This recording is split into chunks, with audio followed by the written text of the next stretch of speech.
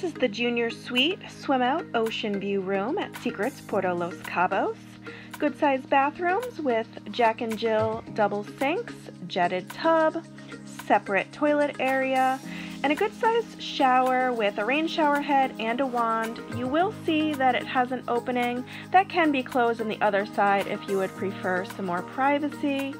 Walking into the bedroom, there's the secret box so you don't have to worry about your room service.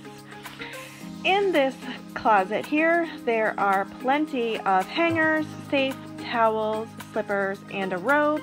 This room had a king size bed, but you can also get it in double beds. Here's a barn door to close if you'd prefer a little bit more privacy when you're taking a shower.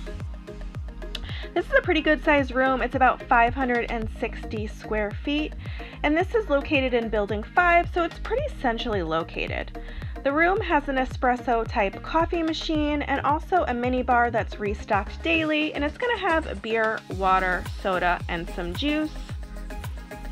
And there's a small sitting area and a desk. And then walking outside, which this is why everybody gets this room, this beautiful swim out with stairs down. It's a little rainy and hazy today, so you can't really see the ocean, but you could normally see the ocean from this room category. If you're interested in booking and using a travel agent, I would be happy to help you. Please reach out to me on my website, memoriesandmojitos.com.